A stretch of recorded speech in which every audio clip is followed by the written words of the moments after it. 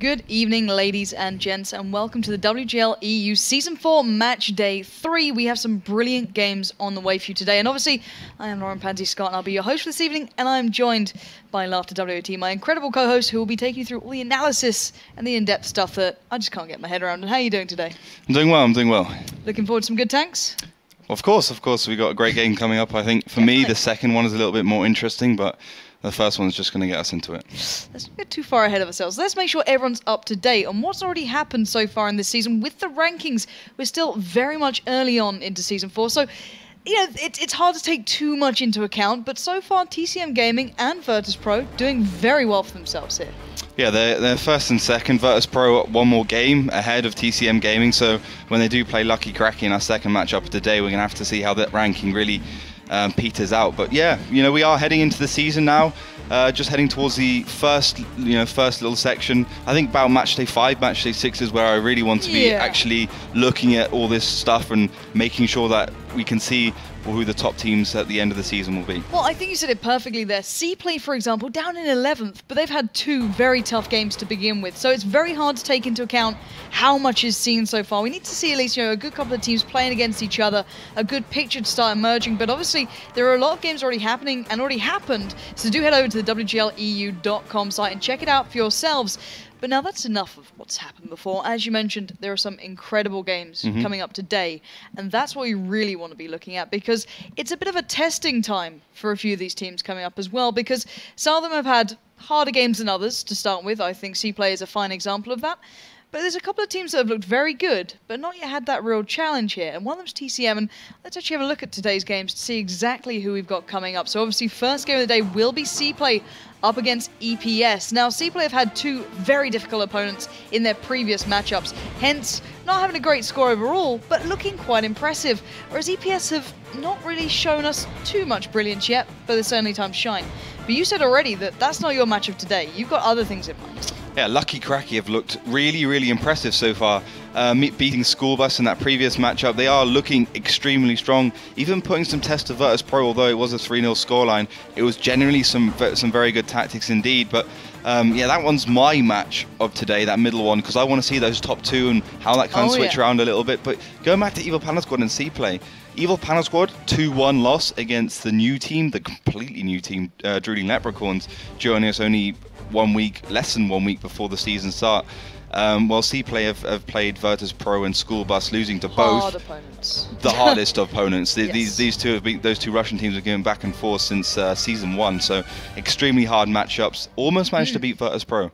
Yeah, and let's bear in mind, eSuba's coming up, and I think they have their captain back as well, and that's Mhm. something I'm definitely looking forward to seeing, and especially against Kazan Crew, someone who's got a new captain almost amongst them. So certainly a lot to be witnessing today, and actually gets a little bit more detail on that first matchup now. Two teams who we probably know by this point, but just to refresh you, maybe C player still new to your eyes, take us through some of the players we need to be looking out for. So the player for me who's been just insane has been Ruster. He's the team captain. He's a shot caller for that uh, for that side, and he's been really at the front in terms of his tactics and his play. Oh, yeah. Obviously, very hard to multitask. Um, being able to play your tank well and also being able to lead your team well is something very few people have, very few teams have, and he seems to have got that one nailed. I'm sure he's got a couple of his tier one players making sure that he's also Oh, making yeah. the right calls. Other players, Jerry Can, I think he's he's he's been pretty good in his heavy tanks. I think he needs to make sure that um, he doesn't overextend too much and, and double check all of his all, all of his steps as he goes through. But generally, I've been pretty impressed with him. Um, but all round, it's it's a pretty solid lineup. Oh, definitely, and it's the tactical side that you brought up that I'm really impressed with. But we can go on to C play in a bit. Let's look at Evil Panda Squad in even further depth and what is really their key factor here. What makes them, you know, the beast they are? Well, Evil Panda Squad have been well. They've gone through a lot of changes. In Oh, yeah. in previous seasons, it's always about consistency for that team. Um, they've always been pretty good. Not the best, but pretty damn good. That got them the second place at Gamescom 2013. We'll have to see if that translates into season four. Sony did in season three, but that, that they really need to make sure that they get the the I don't know that kind of aggression and mixture between tactical play and, and skill. Make sure they have new multi-show always um, making the plays, but not overextending like he used to in, in in the previous lineup. But they've they've they look really strong in that first matchup. Yeah. Dwindled a little bit in that second matchup. So obviously SDL, that consistency is already starting to slip slightly. Yeah, and I think we need to look at their opponents because we've seen a real glimmer of hope from C-Play in the upcoming plays, and especially not just in the accuracy that's been a big factor. The surprising one to me was their creative tactics that we saw on Mines before that was really surprising and actually rather damn good. It almost caught out one of the best, so certainly a team to keep your eyes on. I'd say a little bit of an underdog in this, but I think they could cause an upset here. Personally, I think they could actually do this. EPS, as you said, not looking too brilliant in their second game that we saw from so far. Mm -hmm. So, who do you think is actually going to walk away with the victory here? For me, it's been C play from their mm. previous um, matchups. I, I you know, going one 0 against Virtus Pro, Virtus Pro winning at one 0 was it was very close. And to be honest, C play had a couple of the maps in the bag. They just needed another 30, 40, 50, 60 seconds to, to actually close the one off. So I think for me, C play's got to got to get that the results in now. But you know, it's hard for them, that mental challenge, because they've played, they knew they were going to play the two hardest teams at the beginning of the season. Yeah. So, like, if we can get any points, which they have, back from those two teams, it's we're laughing. Bad. Yeah. But now against Evil Palace, which which they think they're a better team, and so far they have been a better team, mm. they need to make sure that they continue that drive and that brainy kind of tactical and map play they've been using to Definitely. try and beat the better teams. Well, I think we can start talking about the first map. It's going to be Cliff coming up in just a second's time. The tank picks are coming through there, and is there anything surprising you're really seeing, or is this kind of what we expected from these two? Well, it's Cliff. It's a new, a new, map in season four, but the the tank lineups are pretty much the same. In, in general, um, World of Tanks is, is pretty much set with the tank lineups these days. Obviously, that will change as we go through patches. Mm. But Triple MX 1390, T69 Pershing, double T1. That's for the side of Evil Panda Squad. Um, and just waiting for that last player, Nervax, to uh, join in from C play. But usually does pick those uh, hull down tanks, the T69. Um, but I would have thought he would pick another AMX 1390. So for them, most likely triple AMX 1390, double right. T69, double T1. So we can kind of discuss Cliff a little bit here. Who do you think this one favours? I'm not sure if I recall C play so much on this map. Mm -hmm. um, EPS as well never really drastically impressed me on here, but you know, it's, it's hard for me to really get an impression. I'm so used to these guys on your Ensk, Himmelsdorf, that's kind of in the back of my mind from last season. How do you think they're going to do on this map? Who's got the edge coming into this one? Well, C-Play became came so close to being Virtus Pro on this map. This was one of the ones which I think they came the closest. They were like 30, 40 seconds away from, from taking the win. They only need to destroy one more tank, and that was just because you know misplayed it a little bit. So if you can beat Virtus Pro, who's been insane on, on Cliff, generally yeah. very good. Maybe not as good as School Bus, but certainly the second best team. Um, you've certainly got a good chance against Evil Panda Squad. Well, I believe they're just about getting themselves ready, but obviously, once again, guys at home, do get involved with your predictions. We've told us, well, we've told you I've told you Ollie's so far. Mine, I'm, I'm going to say C-Play here. I'm a big fan of them. But guys, make sure you get your votes going because, guys, we are almost ready to get underway into the first map. You can see it down below. So, guys, let's get ready for Cliff.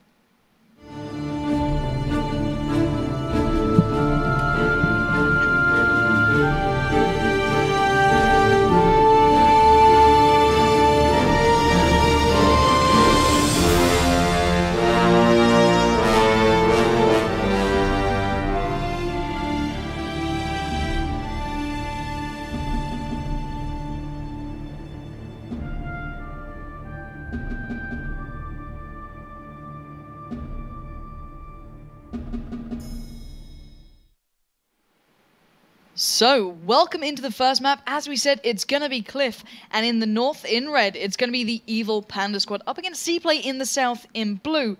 And now, what are we going to be having to look out here from the very offset? So, C-Play they need to make sure they don't go too aggressive at the beginning. We've seen a lot of teams from the south play really aggressively at the start and, and try and kind of flank around the, the lower edge, but so far it hasn't really worked for them. They need to make sure they get the right positions, um, maybe flank around the E1, 2, 3 line, which does look like that's what C-Play wants to do. Dead Zone heading that one up with the uh, MX 1390 in hot pursuit by the rest of his team. So new te- well not a new tactic but we haven't seen it in this season so far. Even at the grand finals it was already starting to slight, slip out of favor. So c-play bringing it back on this one maybe it's going to work. The dead zone has to play this perfectly. Nervax got to make sure he's in the right position. Those two are going to be key yeah, definitely. And actually, they're backing away in those 1390s a little bit there. They're trying to be careful, it seems. They're being smart about this one, and I don't blame them at all, really.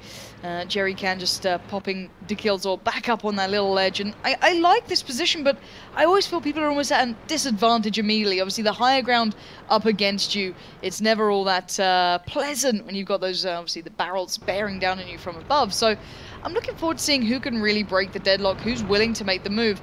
And I don't remember Cplay using this tactic before. I'm not sure if I'm completely missing it, but I don't remember them using this side. But was this something similar we've seen from them? Because I know we haven't seen it really from anyone else so far. Uh, we haven't seen it from Cplay either. It's obviously something they've been training and they've seen from other teams. A little bit more aggressive in, normally though, but Cplay deciding to play a little bit more passively with that tactic might end up working out. We'll have to wait and see obviously the advantage Evil Panda Squad has gotten from what C-Play's been doing here is that they have the higher ground, um, which is definitely a, a, massive thing in World of Tanks. Uh, New Multi-Show and Raging Potato, both in those hull down position, going to be extremely effective. Um, but New Multi-Show does receive one for being just a little bit too peaky.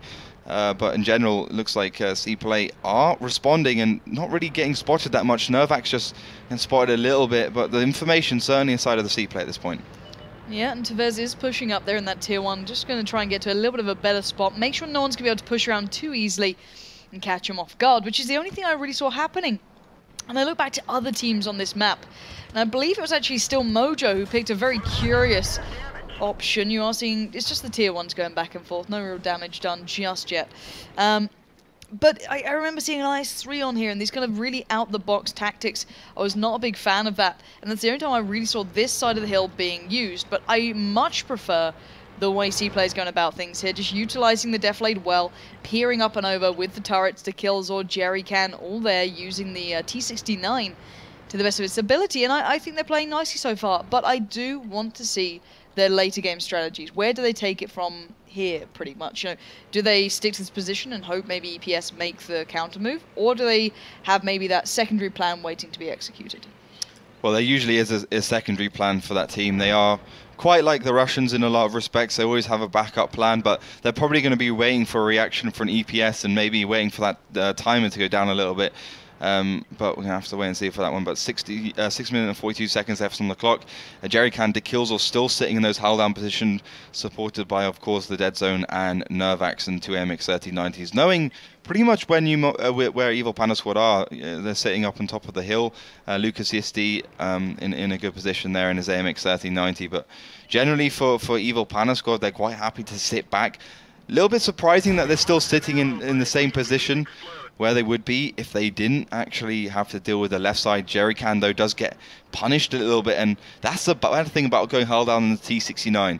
Yeah, okay, it's got gun depression and everything, but um, it, you are only showing your turret, and your turret is actually very easy to penetrate. Jerry Can gets hit, 224 damage off, and probably having to burn his repair kit on the ammo rack.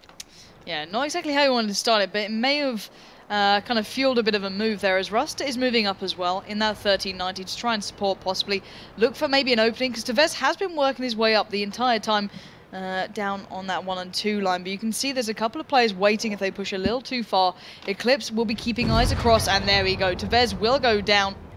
But can anyone reply? Can anyone find that avenging kill? I don't think so. Rust has moved forward, but he's out on a limb a bit here. Is this a bit of a dangerous position? Because either way, he might be spotted out by uh, Raging Potato or any of the others that can fire those crossing shots. We saw Butcher do the same um, in, in, a previous matchup. It didn't work, work out for him because um, they actually just ended up getting pushed. I believe that was by, I think, uh, Freefall. Yeah, Freefall and Denali Esports. Butcher went in that position. Freefall just rolled over the middle area and, and crushed them. And that's what C-Play has to be careful, has to be aware of because Panda Squad can go four against three or five against three and just crush those AMX 1390s without Ruster being in the right position. So they need to get those cross shots on. Need to make sure have all the uh, uh, the angles of attack all uh, all nailed down. Ruster does go forwards though. Um, Eclipse trying to spot him out a little bit. So a little bit back and forth very, quite a slow game at the beginning. I must mm. admit, a lot of information, um, a lot of information tactics as opposed to anything else. But um, C play, they tried that unusual tactic. Not exactly sure why. I thought they would make a fast play at the beginning. I mean, you might as well sit in the middle if you want to go over towards that left side. Yeah, I, am curious to see what he, what Rust is up to here because he is literally being, the kind of the carrot, kind of in front of the horse at the moment. Carrot he's, on a stick. Yeah, pretty much. He's he's out on a limb. He's the only tank there. He doesn't really have any direct backup. Obviously, there is the crossfires coming in from Nervax to Killzor and everyone else. But I, I'm not sure what this kind of uh, plan will unfold towards. But it's still very early days in the bigger scheme of things. Still four minutes left, a vast amount of time. But it looks like EPS don't really want to get involved either. They're they're fairly passive in their own gameplay as well. Yeah, EPS always very very passive in their own gameplay. Um, a little bit more aggressive than in previous times, but um, they are a slower team for sure. Polsved does get spotted there, taken down. Nice little shot, I believe, from the dead zone is AMX 3090. A little pixel shot from him. Um, just connect that one. That's what you want to be having in your team. People who can hit those shells. You don't have to waste ammo. You don't have to really um, worry about can he hit that one, can he hit that one. You just have that reliable team member, and that's the most important thing for Ruster as the team captain is to know that you have the team members that you can trust. Um, but for at least play, they are going to be uh, kind of clustering up a little bit. Evil Panda Squad in very similar positions really haven't moved in the last seven minutes. Yeah, no one really wanted to make any plays happen. I can kind of understand EPS's position because they've not had a great season so far, but C-Play have been quite impressive. I'm surprised they didn't take more of the initiative and actually go for a bit of a push here. So looking forward to seeing what they can bring. Obviously, Ruster once again out on his own. He's just doing his thing there. But looking at EPS, what are their options? Can they? Is there any sort of you know path open for them here that they could possibly take? Um, it's pretty hard to, to push because of um, the dead zone and um, uh, and Nervax's position, but yeah. um, in general they can. They just have to find an angle onto the two AMX 3090 setting up there, and that does involve heading over towards the left side um, and getting some spots on onto those two with your AMX 1390s. Uh, and, and, and Dead Zone and Nervax, once that happens, will have to drop down. They will have to evacuate that area, and that will allow the collapse to go on. But it does look like C-Play want to go forwards. Well, Nervax did just receive a face full of damage, down very low straight away, down to 125 HP. He's been decimated. Lucas is still alive and actually finally goes down himself, so a bit of a flat-out exchange. But overall, I've got to say it, C-Play taking a lot more damage. Thankfully, that shell will bounce off to Killzor, so he gets to escape here but I'm not sold. Raging Potato is just around the corner. Dead Zone holding that back flank, stopping him from coming around and destroying those T-69s. One minute and 50 seconds left. This could fall down really quickly for C-Play. Depends who also has the reload. The two T-69s are still up for uh, C-Play and obviously New Multi Show playing the Pershing, so that could go in favor for them. And New Multi Show is going to get the peak. Oh, wow. And actually, the Dead Zone just backed away. The T-69s are all on their own. Jerry Can takes one to the side. He's going to try and back down this hill, use those T-69s to its best ability, but not landing the shells they need. New Show still moving in, as is Raging Potato. We've got a four-man hit squad rolling in to face these guys down. Let's bear in mind, they have to eliminate every single one of the opponents here, unless they want to get that cap, but Jerry Can is in trouble. He's down to absolutely nothing, 206 HP. Finally a bit of a reply, but Jerry has been destroyed. The kills trying to make a swift escape round the cliff foot, but it looks like Yankees and Naskos are hot on his heels. Ruster waiting in the wings, trying to get some damage on the cross. Not going to happen. They're well aware of his position. This guy was baiting them out from the start, but now finally a little bit of a crossfire in favor to C-Play. Can they make it count? The Killzor, blow for blow, stays alive, but Ruster now surrounded in trouble. Nice work from the Killzor, taking Potato low, but with only three players standing, this is dangerous from C-Play. They could all be caught out here. Ruster being one of them, taking shells from two tanks at the same time. He's going to be taken down. And now, who is left alive? The Dead Zone and Dr. Tour. 30 seconds to avoid the enemy and try and wait this one out. That'll be a draw. That means no harm, no foul. But if they get found, EPS could win this. Yeah, they'll be very lucky to win it though, because Dead Zone's still on 879 HP in that AMX 3090. Dr. Tour also doing a good job of avoiding any spots. Yankees will probably find him, although he is behind that rock, so the line of sight won't come through. Uh, but at the end of the day, Evil Panda Squad just doing a pretty decent job. I think they made a little bit of a meal of it pushing in on, on the same tanks when they could have really been a little bit more conscious of the flank as opposed to anything Definitely. else. But that will be a draw. Um, a little bit of a strange move, I must say. Dick Hills, though, does do 2k damage in that one, so yeah, good job from him. Fine. But overall, um, I think C Play didn't realize that Evil Panda Squad had so much committed. They mm. also saw that Nakozmi is was out on the flank, so unsupporting. Right. But because of Evil Panda Squad's better position, the high ground I was speaking about at the beginning, yeah. uh, Evil Panda Squad st- could still do a heap load of damage um, and, and and really get themselves an advantage going in. And then also C Play had to retreat, and mm. retreating for them basically mean they had to drive off a cliff. Yeah, I I wasn't actually sold by C Play on that map because I look at the ones I've seen them on so far. Mm. You know, I, I, try and recall back. My memory is pretty shoddy, but you know, I, I look back at the way they previously played. and they age. had. I know it, it's it's killing me. Um, True. Wow. Stating the obvious. Wow. Way, way to make it hurt, Ollie. Jesus. But look back at their tactics, and they actually had some on Yeah. other maps, and they were quite impressive in their execution. You know, even just in the small crossfires they created. I didn't feel there was anything there for that one. I don't know what's changed since when I first saw them. What do you think it might be? Well, I think for C Play, they had watched the VODs from Evil Panda Squad and Right. saw that they were going to be doing something, um, and they just had the counter attack to it. I thought, you know, if you do push up that E area, you want to be a little bit more aggress- aggressive and you just get the cross shots on. Um, you can't sit back because if you do Yeah. sit back, I mean, Evil Panda Squad didn't have the clairvoyance to, to actually make the shots on and go for an aggressive offensive tactic of their own. Um, it did take C Play to go forwards um, to, to really make anything happen in that map. True. Uh, but generally, Cplay did pigeonhole themselves a little bit there. They put themselves in a situation where really Evil Panda Squad held, held all the cards, and even 5 versus 4 they came out on top. So generally, a risky strategy at the beginning could have worked. Maybe Evil Panda Squad didn't do quite what they would have expected, but still Cplay sending the dead zone, and obviously Dr. Toya still staying alive did give them all the, the, the draw, and maybe they're going to be able to pull something out in Ruinberg. Yeah, and as you said, Ruinberg, the next map up here currently it is tied zero to zero. If it's a draw, we just negate it and move on. Pretty much, it's still Mhm. a best of five.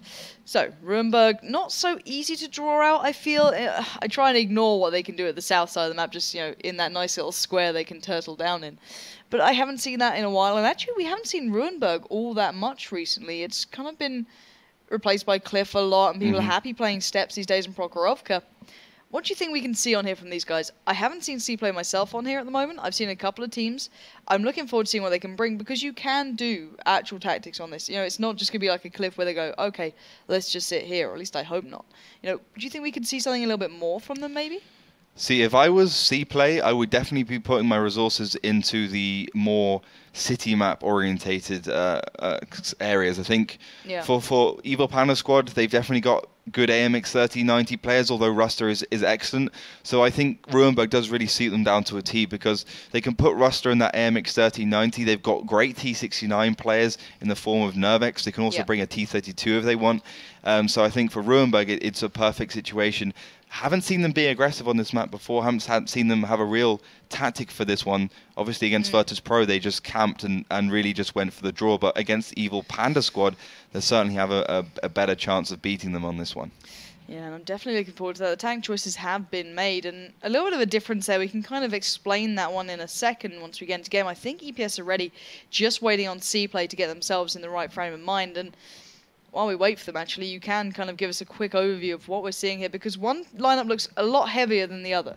Yeah, so for C play, it's going to be the double 5100 T69 times 2 AMX 3090, as I said, play by Ruster, double tier 1.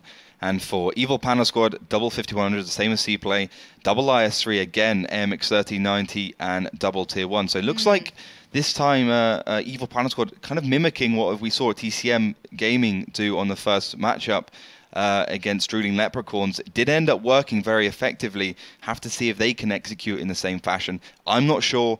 I think they won't have that um, just strike, that first strike ability TCM seems to be really good at. And that's where C plays more, uh, I don't know, quicker lineup with those T69s will come into effect. Well, let's find out as the second map is going to be Ruinberg.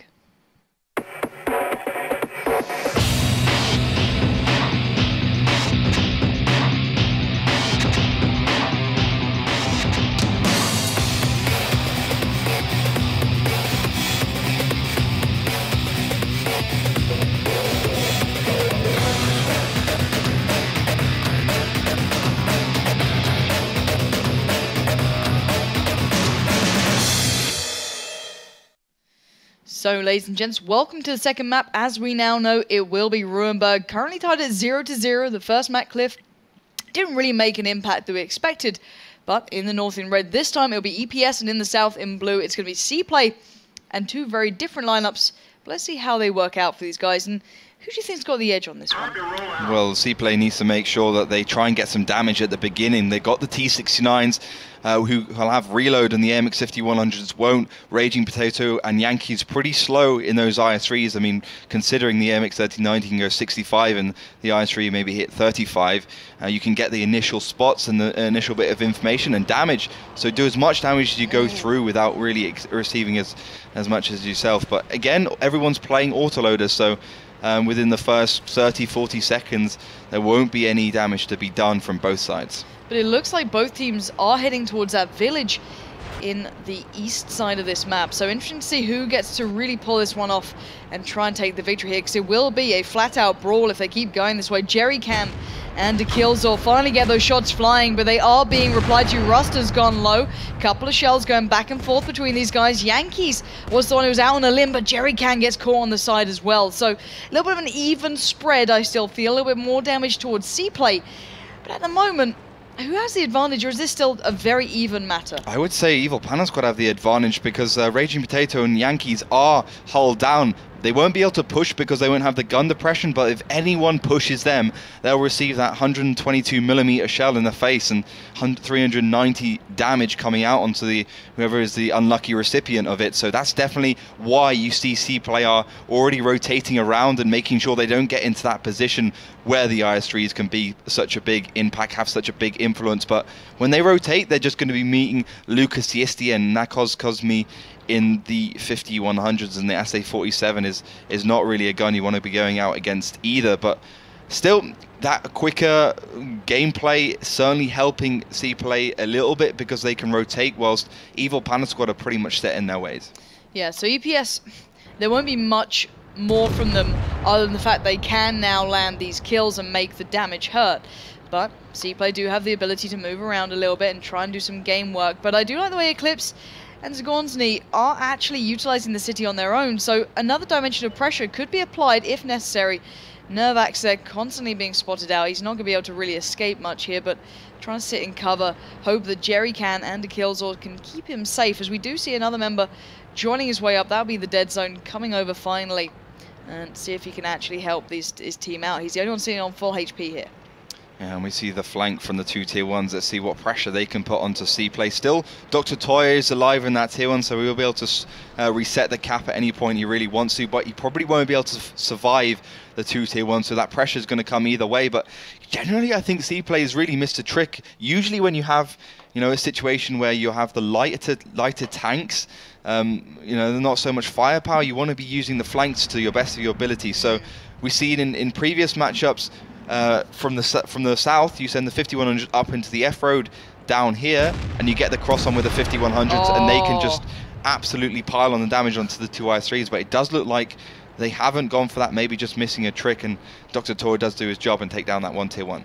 Yeah, but in the meantime, it was Nervax who got caught out really badly, down quite low. You can hear those shells flying between these small ruined buildings. Nervax in the dead zone desperately close together. New Molcho is splitting off on his own as well. He might be able to get a bit of an angle on these guys or if they go for the retreat, cross them off. But it looks like EPS are kind of gearing up for the beginning of a push, and Nervax constantly being hit is really not helping the matter here. He's down so low, he doesn't even know where these shells are coming from half the time, and there we have it. Big kill comes through. I believe that was New Molcho landing those. I'm not sure if anyone else is in a position to do so, mm -hmm. but that was just perfectly played out again. EPS reading the situation very well, but it has forced the move out from the three players who went on the flank. Here we go. It's not gone well. The kills Killzor going going down as well. Ruster's taking a beating as Lucas tries to hold on, gets Noskos on the cross as well. They're going to cause so much damage. Jerry Can is going to be wiped off the face of the earth. And this is looking like EPS mean business here. The dead zone well, it's an appropriate name right now, and you've got four players staring you down. He's the only real damage-dealing tank left alive, and I think he knows the score. Yankees is there, Nasco's moving in, Raging Potato as well, shell after shell, ripping through that 5100. He can't do much, but try and maybe escape for a second, but he's been caught in the heels, 8 HP, one more shell, and that's going to come from Raging Potato, leaving just Dr. Tour alive, and he is not getting out of this one. It looks like EPS are now seconds away from picking this up even another tier one ready and willing to come into effect here. And I think Dr. Tor knows it is game over. EPS will be picking up that second map. Fantastic work from them. And wow, you know, that showed the experience I was waiting to see from EPS from the very start. And that shows probably, I think, I would, I would think probably the most stark fashion the the blind picks uh, coming out and, and really yeah. helping uh, C-Play, uh, uh, helping Evil Panda Squad because uh, went for a, a, much lighter lineup than than them. Not as light as we've seen in, in the past, but certainly not yeah. as heavy as as uh, Evil Panda with his two IS3. So C-Play were kind of pigeonholed again. They they had to push in the village because they didn't have the heavy lineup for the city anyway, and that was disastrous. That was always going to be a loss for them the only thing they had was the the speed at the beginning with the T69s. They needed to be really aggressive with them. In fact, they need to be really aggressive full stop. Use those autoloaders the best they can. They still have the more damage once the IS-3 makes the first shot and make sure those IS-3s shoot the T69s and the 5100s first. But in general, the one winning thing for C-Play would have been to send the AMX 5100 on the flank, put it up into the F road like we've seen before. Those IS3s are obviously going to be in the non-village area of the F road, so just get the damage onto the side onto onto that onto the IS3, and then once that's a weakness, push onto it and finishing it off. But uh, C-Play just went for the standard tactic as if they were playing a mirror match, and obviously yeah. that just wouldn't work.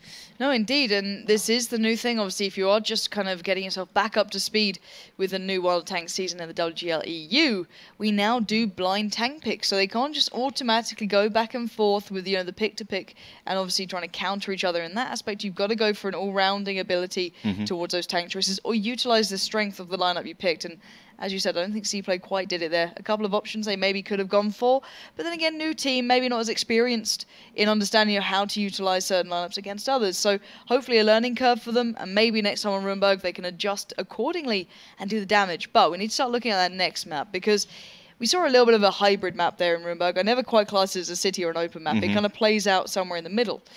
We've got Himmelsdorf next. Now that is the city map of all city maps. You know, you could put Ensk up there, but there's a little bit of grass, so I don't count it. But Himmelsdorf is coming up. I think the tank choices are just coming through, but I don't think that's going to be the surprising part. Is what do you think we can see from C-Play so far? Let's take stock of what they've done. Not a great deal. Mm-hmm. You know, Cliff didn't go well for them. Yeah. Ruinberg, they got pretty much outpicked and outplayed considering the picks they had. But you can't really outpick someone on Himmelsdorf. Really, it's not. It's not exactly something you can easily do. So it's going to come down to tactics here. And what can C-Play provide to maybe catch out EPS? So for C-Play, um, they have usually the C-Play is a team that wins on those kind of hybrid maps where there is a fair amount of cover, but not yeah. as much cover as, let's say, a city map. So I thought they would already be 1 0 up at least, maybe 2 0 um, going into the city maps, and that's where Evil Panda Squad reign a little bit more supreme. But maybe they're going to have a switcheroo in that role and, and maybe going to be able to bring out the win here. But 350, 100, two IS3s, double tier ones. Generally, Evil Panda Squad certainly, I'm not sure if they're playing better. I mean, Cliff certainly weren't doing anything. They weren't. They were just reacting to C play. On uh, Ruinberg, it was more their lineup than their play that really got them through. Although New Multishow obviously playing on the limb was a good move from him. So we'll have to see how that works out in Himmelsdorf. Yeah, so I do believe both teams are ready. So let's get that video rolling for Himmelsdorf.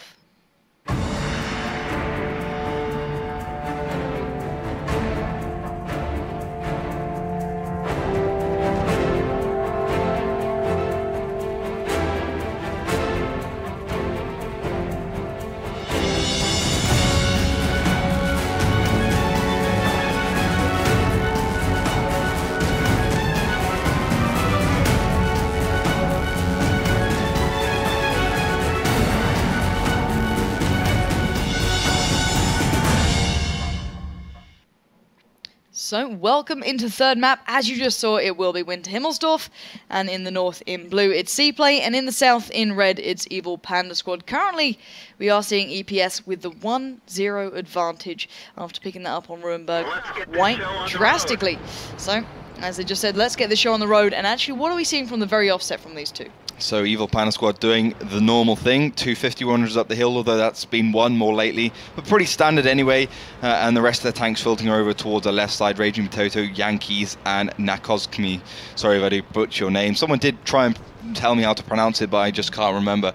Uh, C-Play also doing the standard thing, sending a tank in the middle, that's the IS-3, Nervax, Dr. Tor in the Tier 1, and the 5100s, heading up towards the 1-2-3 line, and of course Treves and Ruster in the final two tanks also heading up to that hill. Yeah, so a, a normal start. Uh, simple as that. We aren't seeing an all-in cheesy strat that we've seen a couple of times already uh, this season. A couple of shells being exchanged through the middle. Nothing really connecting but just yet, but we do see a couple of you know, players making those mistakes actually in this position. And I can't remember who it was. It was the last play that we watched. Someone in pretty much Raging Potato's spot outstayed his welcome, took way too much damage, and was the weak link in the chain that kind of caused the downfall of the entire team. So players like him have to be smart, but Dr. Tor already being taken down for C-Play, that could cause real trouble here. Yeah, those tier ones do provide a very useful service on Himmelsdorf. Obviously putting that extra dimension of pressure on in the cap and also the spotting ability, but maybe Dr. Tor provided the information C-Play needed. I'm not quite sure if he did. I think he maybe threw his life away a little bit too early on there, and certainly that could bite uh, uh, C-Play in the ass a little bit later on. We'll have to wait and see. But Raging Potato, Jerrycan, that's the main storyline right here.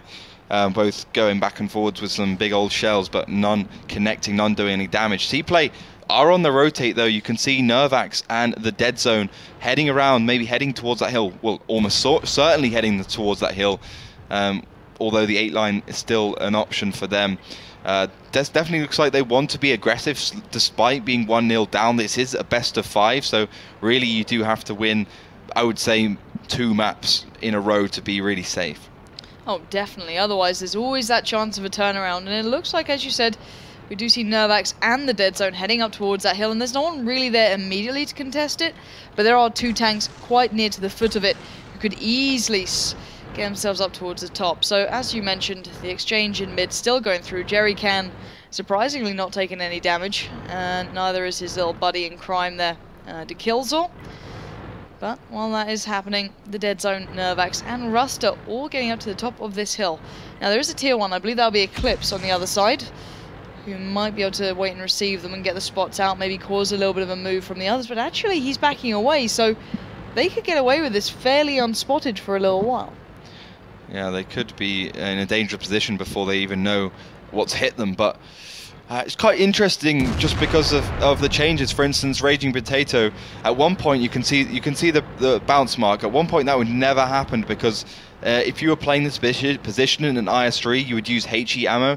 Yeah, you only do 100, 150 HP, but that times three, that times four, which they've already hit him for, would be a significant HP chunk off. Uh, and all the teams have been doing this. They've been moving away from AP uh, back to uh, moving away from HE back to AP again. That's, that's an interesting thing, and I think that might just be the way the game is changing. But you can see uh, see uh, Evil Panda Squad trying to rotate around, but C-Play are on the hill, pretty dominant. Have to make sure they don't get caught out because their new multi show is there, but it's two versus one. Well, Nervax already receives one shell, so surprised he didn't really expect someone to be down here as much as I can imagine there'll be a free reign to an extent. You got to be careful. They hadn't spread out the entire team, and now they're finding out where new multi show is. This could cause, or at least force a move from EPS to come around in reply. So Nervax had to be a little bit more careful now. He's got Ruster to back him up, though, so he's still in a good position, and he might actually be able to help out uh, Dekilzor and Jerrycan, obviously with that 5100, maybe get some shells down if possible, and keep eyes across that central courtyard, which could be where EPS push. But no real movement just yet, but is this enough of a sign for maybe EPS to make something happen from this? Well, they do seem to be rotating a little bit. The two IS3s, Yankee, Raging Potatoes, heading back, well, at least towards Lucas Yisti. That's probably because they just want, don't want to get spotted. They're going to be heading around and back up the one, two, three line. So pretty much a standard counter push. But interesting for me, you know, Trevor, I'm not sure what Nervax was really doing that. He's been pretty disappointing so far.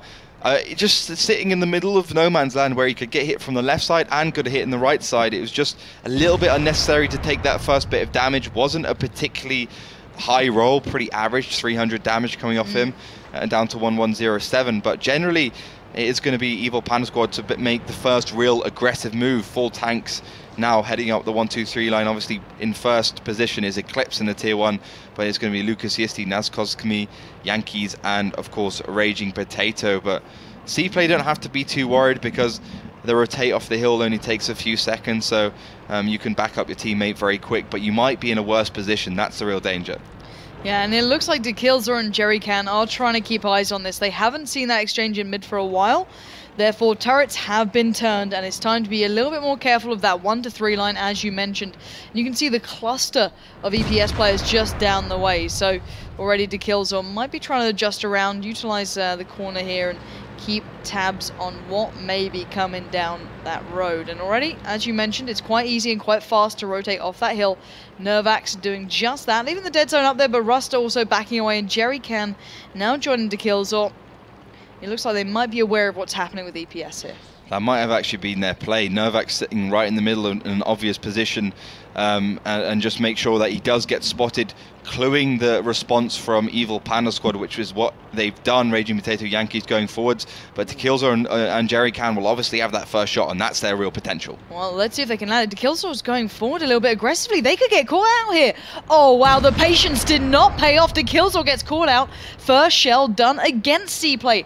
Nervax and Ruster finally come round, but Jerry Can and Killzor, they just don't have the patience, it seems, to wait this one through. Raging Potato does soak it up, gets one back, and Jerry Can also down a little bit more. And these IS-3s are not doing the job they want, but can the three 5100s make their way around unspotted and really catch out these IS-3s? It might happen. Raging Potato and Yankees aren't fully aware of what's going around the corner. Now they'll realize two shells back to back, but a good quick turret turnaround will mean they get a bit of damage back towards Ruster. But look at this damage coming back in. Raging Potato gets absolutely mashed to pieces. And now this 3v2 situation set up in favor to C-Play has really paid off in that. But the HP pool is still quite low. Amazing focus fire fire there from C-Play and also using their 5100s in a perfect fashion, making sure that Ruster, despite receiving so much damage, only does get tracked. Yankees also receiving some damage, but the 5100s of Evil Panda Squad have all six shells, well, have at least three shells more uh, than C-Play. That could be their real real damage going through, but they're going to have to execute perfectly. Well, here we go. 2v2 down the side to Kilter and Jerry Can moving in for Yankees. If they get him down fast enough and negate Numultra, they can support the other three who need it desperately. Dead Zone holds on, but oh no, Jerry Can has gone down to Killzor all alone here, going blow for blow with Yankees. He gets taken out, and that's just a 35100s. I say that, there's still a lot of damage, but when you've got EPS on form like this, it's going to be difficult. Because trying to play this one smart. Wait for Yankees, wait for Lucas, wait for New Multi-Show. Playing carefully, buying time. And now he does have the support he needs. Dead Zone is living up to that name. Gets absolutely decimated once again. Ruster goes in to do some work. Gets one, dies down. And now just Tevez left alive in the tier one. He's going to try and wait this one out. But I think, once again, it looks like EPS are doing just that bit better. They are, certainly being a very, very good team that reminiscent of the first match day. Second match day definitely lackluster, and it will be another win for them, bringing it 2-0 up, making it really only a draw possible for C-Play. But you know, you have to say it. C-Play did get a little bit unlucky going into that one. Uh, for instance, uh, just the most insane snapshots, like you know, they got zero ping or something hitting onto the sides of the IS3s. They won that engagement in general. That was because the IS3s were in the better position. Um, and, and the kills on Jerry Can being aggressive fair enough, be aggressive, but then actually be aggressive, get the kills. Yeah, really move in. Instead of just going back and forwards and being really caught in no man's land. So, uh, all round perfect play from uh, from Evil Panda Squad and a little bit, I don't know, communication errors errors coming out from C play. So. Yeah, indeed. It's it, it, I felt this is truly deserving towards EPS. The game is in their hands now, two to zero. C play just lackluster for a team that had great execution, great focus fire before. Mm-hmm. I, I, looked towards that. I, I, was thinking, okay, they've got a good setup here. The nice two IS3s there, playing it well. They forced the move out of EPS, maybe with that play early with Nervax. I'd be curious to see if that's what they actually meant with it. But eventually it did kind of work out in their favor there. But it just fell apart. And just take me through why. So the the initial engagement was good for C play. They took right. out Raging Potato, um, which gave them a two versus one situation with their two IS3s. Uh, they they should have just well, they did take one. Uh, they, they, didn't do. They didn't take out the second IS3. That's basically the problem. Right. So the two versus one, they should have won that engagement. Should be more aggressive.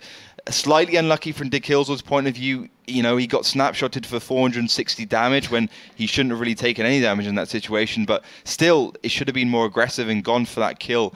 Um, you know, the the weakness for Evil Panda Squad is basically new multi-show. Great player full stop. But you know, I, you know, like if you watch the VOD back from this game, mm. and you can see at the end, new, new multi show kind of trundling up the road from you know a zero right back in the side, the back of the map, like he's supporting. You know, he's always somewhere else. He's, he's always never somewhere in else. the fight. He's always somewhere else, and and you know that's the weakness for Evil Panda Squad mm. since since day one, pretty yeah. much. Yeah, he can make the the one versus three, whatever, but he's never in in the front line, and C play should have been exploiting that. And I I do look back to players very similar to that, and it's like, well, okay, he may pull off that one v three, let's say two out of five times, and it's awesome to watch. Don't get me wrong, but would the team be in that situation Mm. if he actually took part in the fight earlier on and did the damage when his teammates were alive? And you've got to kind of weigh up the balances there, don't you? And I guess you know it's it's it's one of the troubles of having a bit of a star player in in in, in the team because you can't really be like, hey, he does nothing because he does pull off those one v threes, but he also can be the guy to let everything kind of fall apart as well. So it's a bit of a hit and miss there, but. eh, Nevertheless, even with him not really being present in uh, a fair amount of that, they seem to do well enough. They Mhm. pulled it off to an extent that, you know, C plays lack of commitment maybe to their pushes and the kind of uh, shots they were landing. Um, it, it did give EPS the win in the end, but I feel against a bigger opponent, they might start struggling if Numolcho is not there on time and in the fight. Mm. And we're going to find out if he can do it in Cliff. Because that, uh, sorry, Mines, the next map that will be coming up. Obviously, uh, a little bit of a different ball game here. This is one of the maps that C-Play really impressed me on initially. Uh, brilliant strategies coming out from them, showing they have um, good individual players, but also a good kind of end goal. They always had that kind of play in mind they wanted, and I like that about them. But we haven't really seen much of that today. Do you think this could be a map they finally wake up on? They they played very well in the previous Mm. matchup against School Bus. This was the one map they won. Two one was the final scoreline for School Bus, but Mines was Mm. certainly their forte, you could say. Um, from the north, they, they did some great moves with uh, the MX 1390. I think when Ruster can find himself in that tank, it's it's going to be an extremely Yeah. effective uh, uh, effective move. Whatever he does, he, he can fight as well out of very very hard situations. But generally, I think C Play need to make sure that they have the initial aggression. Don't get counterpicked too hard by Evil Panda Squad. Don't think too much about it. And and you know you have two options in World of Tanks. You can either be passive or you can be aggressive. You can't be you can't Somewhere be passive aggressive at the end of the day. That it's simple as that. For instance, you know, in Himmelsdorf, those two IS3s, they could have won it if they went if they stayed back. They could have won it if they if they went Fully forwards, committed. com- Yeah. fully committed. Exactly, they could get the cross either way. Right. Halfway in between, you're in really the worst of both worlds. The grass isn't always greener in the middle; it's always greener on the other side. I guess. Um, never heard that analogy before, but We're I'm gonna run with it. I'm going to bring he's it back made it in. happen. I'm going to bring it back Something in. new, that's, that's going to be new. Uh, Triple AMX 1390 T32 WZ132 double tier one. That's for Evil Panda Squad's final lineup. Obviously, the interesting tank there being the the tier eight Chinese uh, light tank, the WZ132. Uh, pretty Trying to- pretty decent. Yeah, who else used that recently? Um, Was it Kazna? I'm. It was one of those like matchups. Um, I I'm- do recall it already in play once before. It was a matchup I'm sure it didn't season. go too well. Uh, yeah, yeah, maybe not. I'm. Yeah, WZ132 is a good tank. 250 heat ammo penetration, not Mm. ideal, but the same as the T69. Obviously, the main role of it is to be on the hill, getting that consistent damage down at the same time as a as an AMX 1390 because it is the same uh, speed. It does go just as fast, but uh, we can quickly run through C plays lineup: triple MX 1390, IS3, T69, double T1. So they've gone for. I'm, I'm happy with that lineup. It's pretty decent. IS3? You gone you got the speed there. IS3 is hard to play, but it's without with It's blind viable, with with, with blind viable. picks. The i three is always that like wild card kind of thing. You Mm. just throw it in there, and it's going to be pretty versatile in every respect. T69, obviously, just for that hold down position. It's going to be a hard matchup, a hard, hard matchup for C play to make work against that Mm. WZ132, but I think they can do it. Yeah, I'm I'm not sold by the WZ132 yet. I, I'm sure it was Kazna crew um, that tried it and it, they just didn't have the cohesion or the timing to kind of pull it off and it Mm. just kind of sat out there on its own and I, I wasn't too sold, but maybe we could see EPS pulling off a little bit better. They haven't been bad to this point. I just feel they haven't been tested in this game really. I, Mm. I, I was I was kind of looking at today as okay, finally we get to see, you know, see play against an opponent who's probably more viable because you know School Bus and Virtus Pro, you're kind of looking to the top and going, hey, let's let's try our chances here. That's not going to go too well.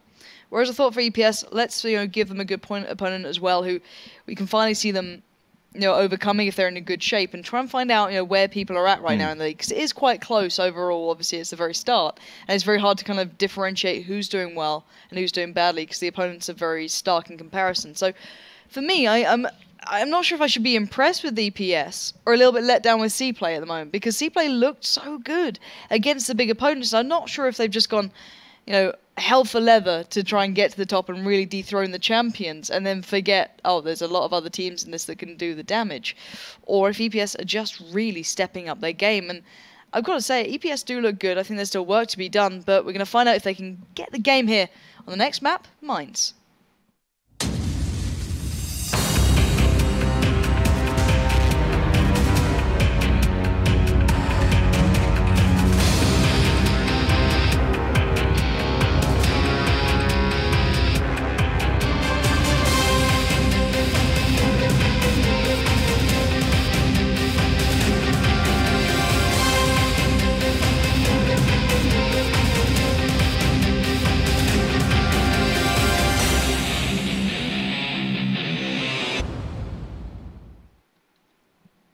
Welcome into the fourth map. It will be Mines, as we said.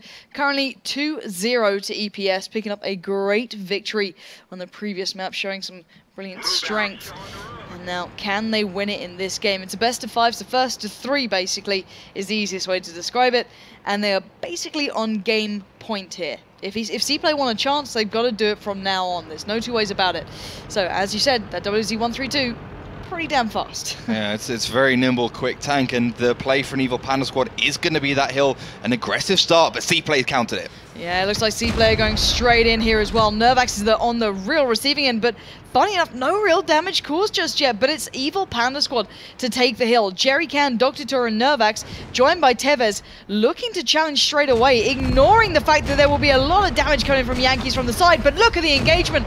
Jerry Can moving in, not stopping for anyone, but he goes down. New Mulcho doing what he can do best, doing that damage, has to be careful here now. He's got three tags against his one. He gets taken down by Ruster, and C-Play are not stopping though. But look at the amount of damage EPS have already put down. This is not looking good. Nervax peaks.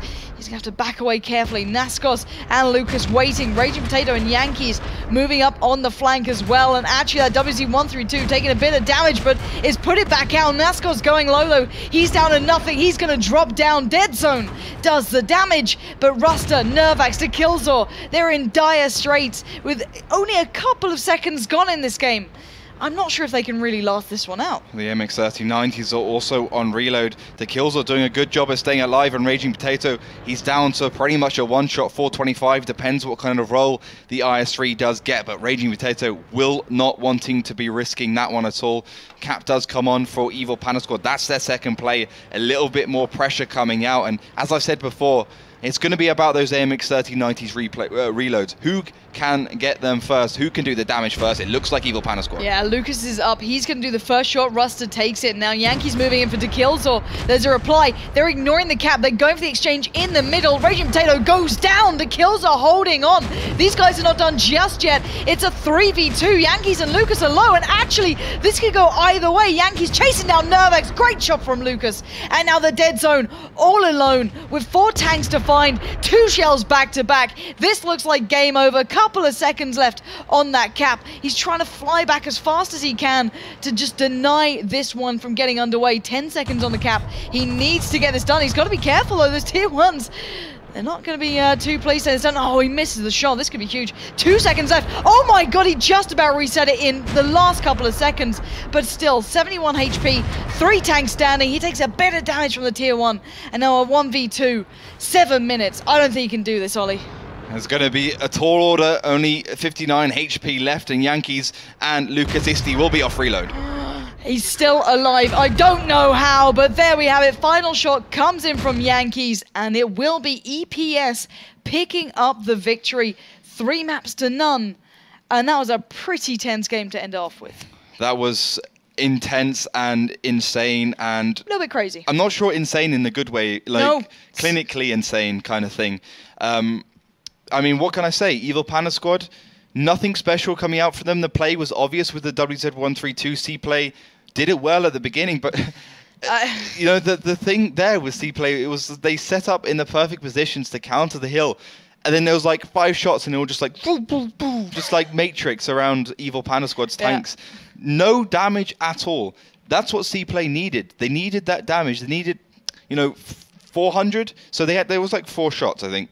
Yep. So let's say 250 average damage. It's over a thousand damage. It would be fine for them.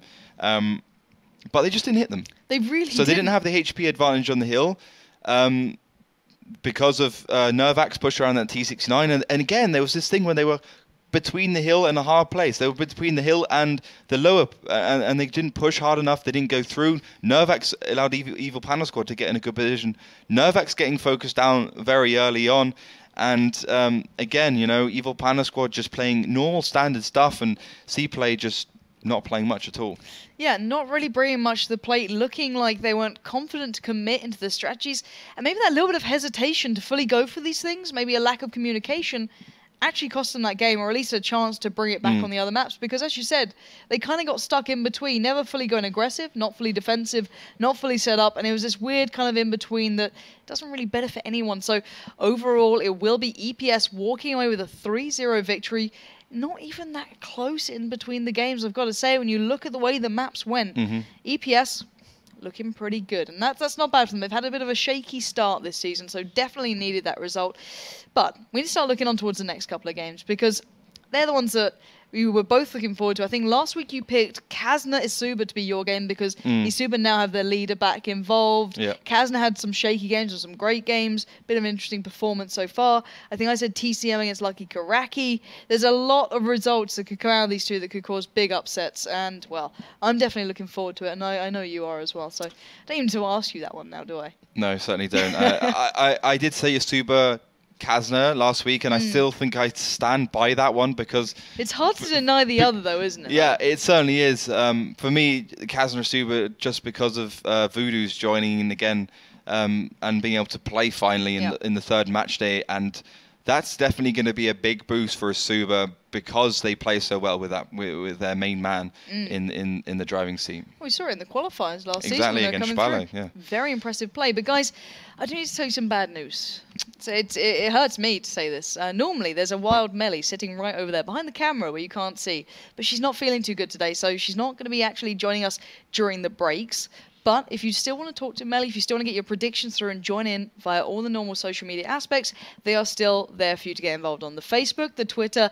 Get involved in the predictions, the votes, and you might get yourself some gold. And obviously, you can speak, go, go speak to Melly. Wish her well. Get tell her to get better, because otherwise we get very bored down here. You know, tanks are great, but we need Melly. That's pretty much it, right? Yeah, she's. Uh, I think she's.